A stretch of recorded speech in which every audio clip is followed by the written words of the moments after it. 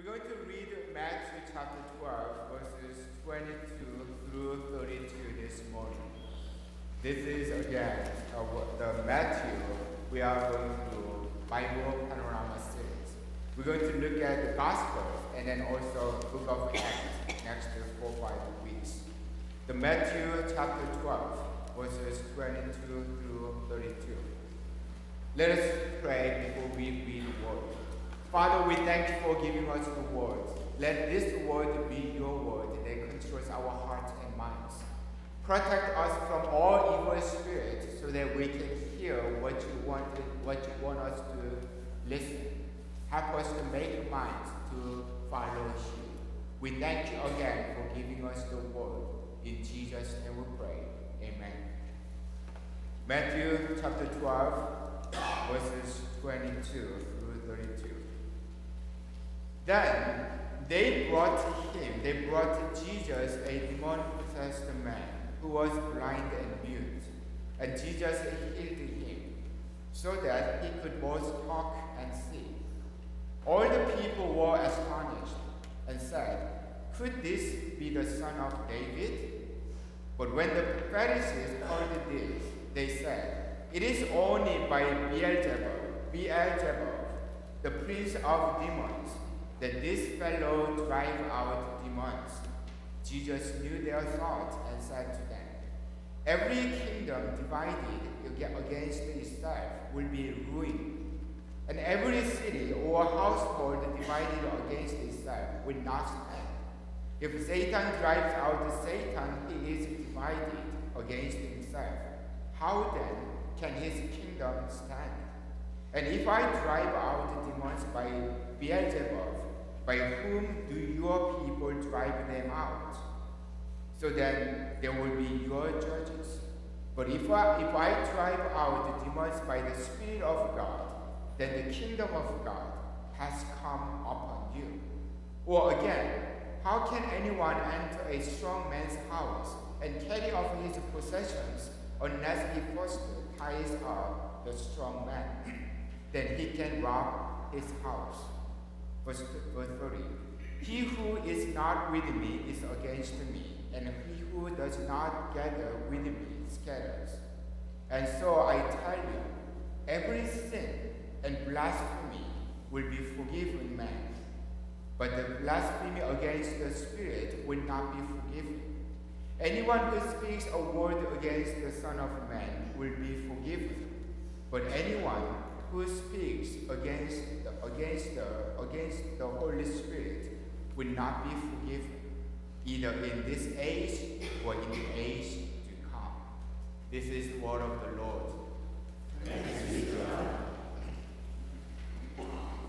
There is only one page between the New Testament and the Old Testament.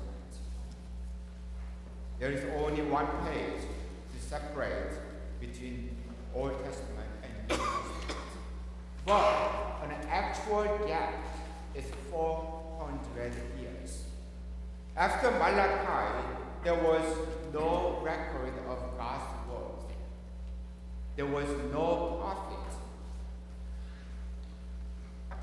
It was the time of silence. Then Matthew comes about as the beginning of the New Testament. Matthew chapter 1, verse 1. A record of the genealogy of Jesus Christ, the son of David, the son of Abraham. Two names, David and Abraham, are mentioned in regard to Jesus' coming because they represent the nation Israel. Abraham was the origin of the nation and David was the king of Israel. Matthew indicates that Jesus, who is coming from the descendant of David and Abraham, is the promised Messiah. Now turn to chapter 17, Matthew chapter 17, verse 1. After six days, Jesus took with him Peter, James, and John, the brother of James, and led them up a high mountain by themselves. There he was transfigured before them. His face shone like the sun, and his clothes became as white as the light. Just then, there appeared before them Moses and Elijah talking with Jesus. This is about Jesus' transfiguration, showing that Jesus is the Son of God.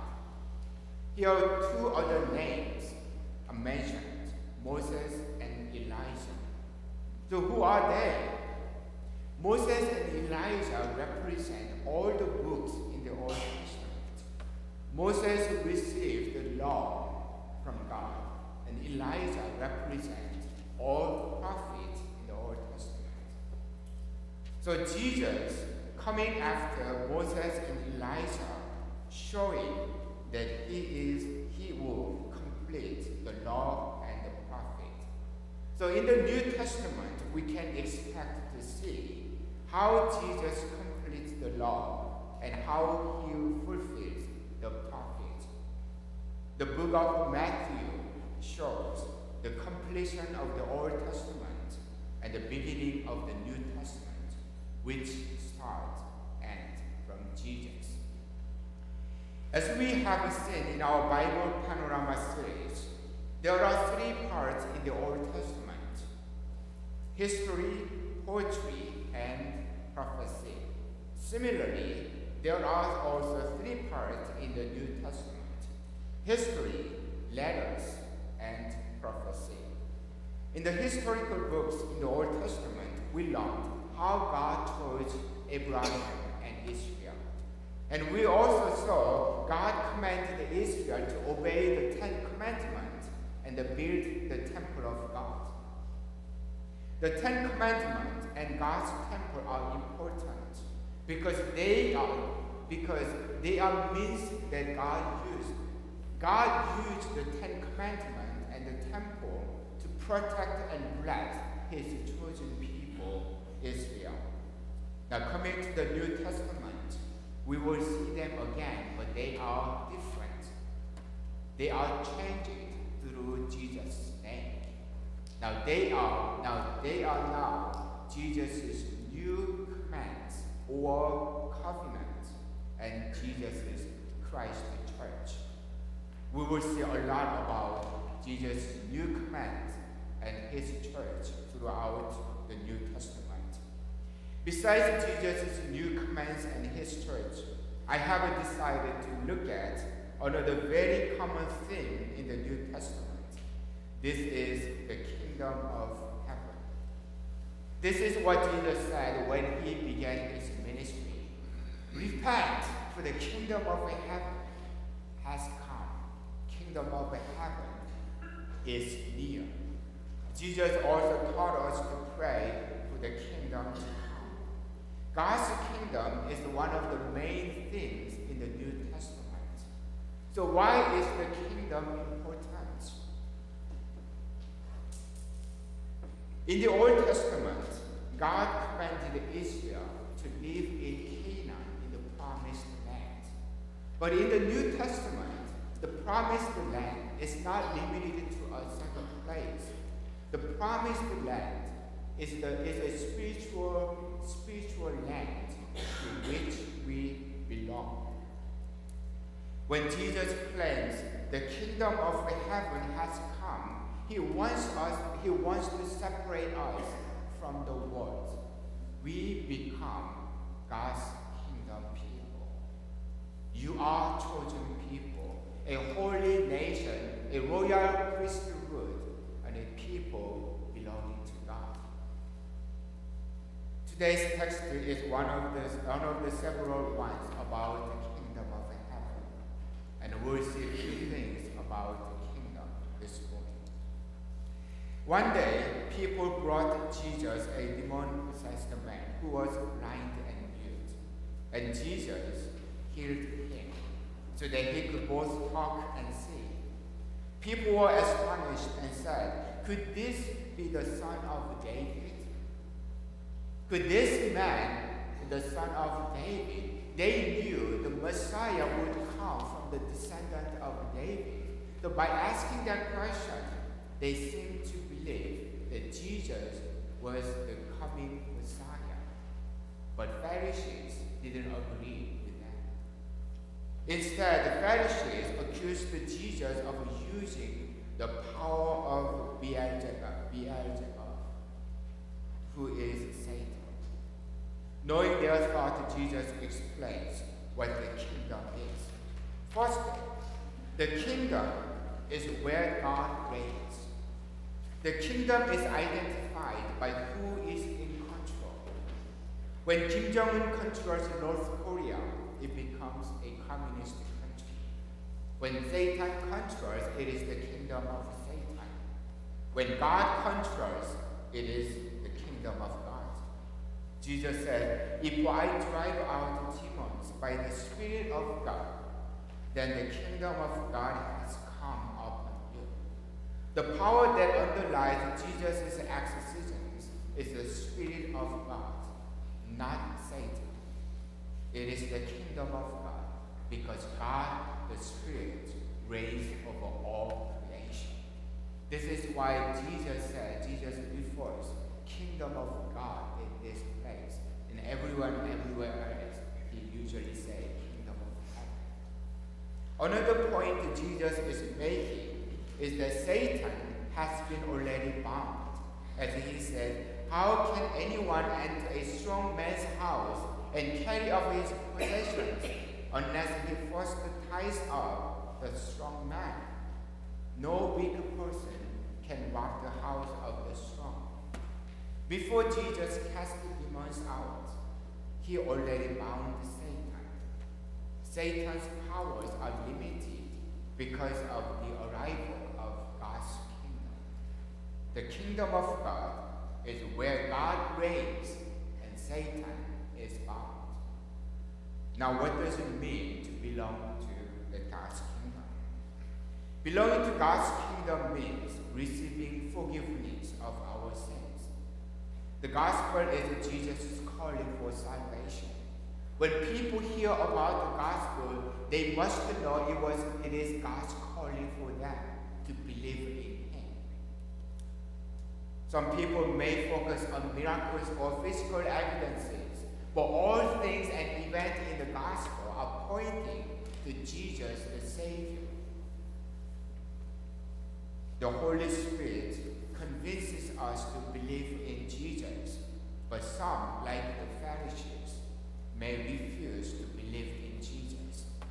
Jesus says it is blasphemy against God's Spirit, which will not be forgiven. Verse 32 Anyone who speaks a word against the Son of Man will be forgiven. But anyone who speaks against the Holy Spirit will not be forgiven, either in, the, in, the, in this age or in the age to come. Listen to what Jesus says. Jesus said, You can speak against me, but you need to be, you need to know I am the Son of God. He doesn't care about if people hated or hated him or not.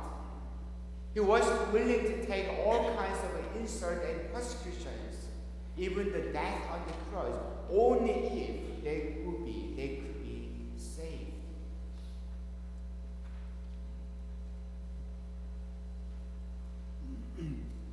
if people, though if they hear about the gospel, and they hear about the gospel, and they open their minds and believe in Jesus, and they will be saved. If they hear about the gospel, it is Jesus calling. If they refuse to believe in Jesus, they are blaspheming against the Holy Spirit who brought gospel, gospel to them. So those who do not believe in the person of Jesus will not be forgiven. In other words, those who believe in Jesus by faith will be forgiven no matter what sins they have committed in the past and present. Do you have a faith in Jesus? Then all of your sins are forgiven as you repent. Belonging to God's kingdom also means sharing Jesus'. Satan is God of this age, this world. He is the prince of this world. is the ruler and authority of this world. he is more powerful than any mere human being. We cannot beat him in our nature, but he is bound in God's kingdom. His powers are limited. Satan cannot make us to sin when we remain in God's kingdom.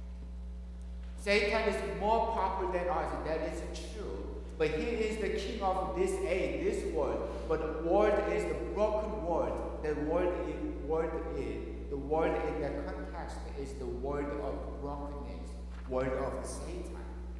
But Satan is totally bound in God's kingdom. He cannot make us to sin, force us to sin in God's kingdom. But when we walk into darkness, He will tempt us. The best way to avoid temptations is not, is not going into darkness. By all means, we need to avoid going into darkness, some areas where we are fail, where we are. Everyone has a different kind of weakness.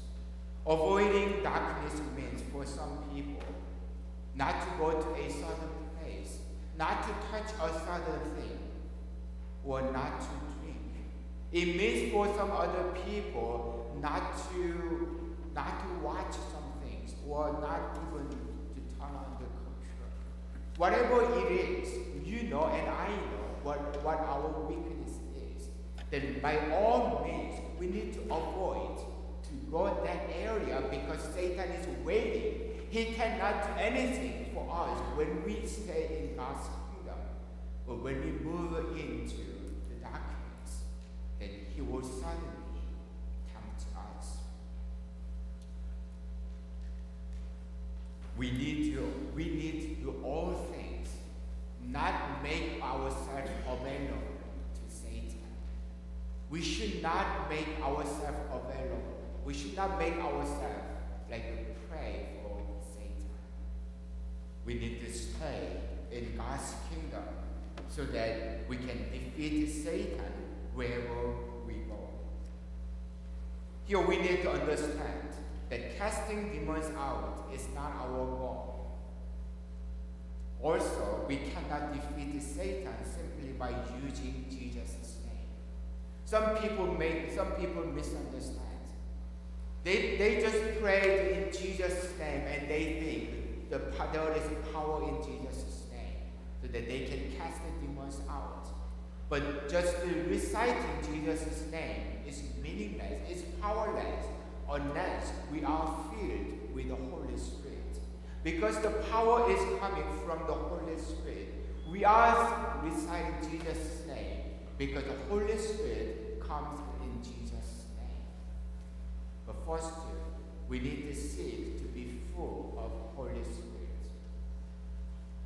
Even demons believe there is one God.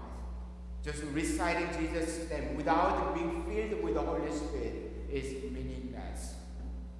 This is why we pray to be filled with the Holy Spirit. As we truly submit to the Spirit, we become more powerful and stronger. As the kingdom people, we can defeat Satan wherever we go in this world. This is the kingdom world. We belong to the kingdom because God is the king of this world and we belong to him. A question we need to ask is where we are in God's. Do you belong to the kingdom of God? Yes, you do if you believe in Jesus. If you do not believe in Jesus yet, then you don't belong to the kingdom yet. Then this is his calling for you. Believe in the Lord Jesus and you will be saved, you and your household. Believe in Jesus. It is, it's not you just hearing by accident, but you are hearing by the Holy Spirit. It is the calling from the Holy Spirit. As you belong to God's kingdom, we look at the two blessings. You are forgiven of your sins, and you have the power of the Holy Spirit. In this world, we have troubles. Even Jesus said, that You will be in trouble in this world. It doesn't matter Christians or not, everyone will have troubles in this world. We have many concerns and troubles. We have there are so many things to make us worry, but as the kingdom people, we have the power of the Holy Spirit. We can overcome. We can still rejoice. That's the difference. The kingdom of God has come upon you as you believe in Jesus, who healed, who died in our place, who forgave our sins with his blood. You are kingdom people. You have power, and you trust God's providence. So we can go out, rejoice in this world. Let's pray. Father, we thank you for the word we heard this morning. Lord, you claimed when Jesus came, the kingdom of heaven has come with the arrival of, with the with the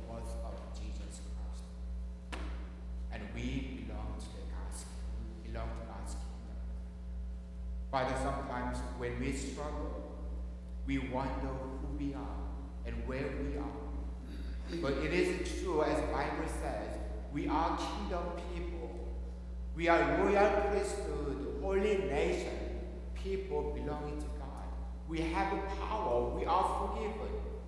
There is no, there is nothing that make us to separate us to, from the love of God. Lord, help us to know who we are. We are kingdom people, and Jesus is the King of kings. So there is nothing we need to worry.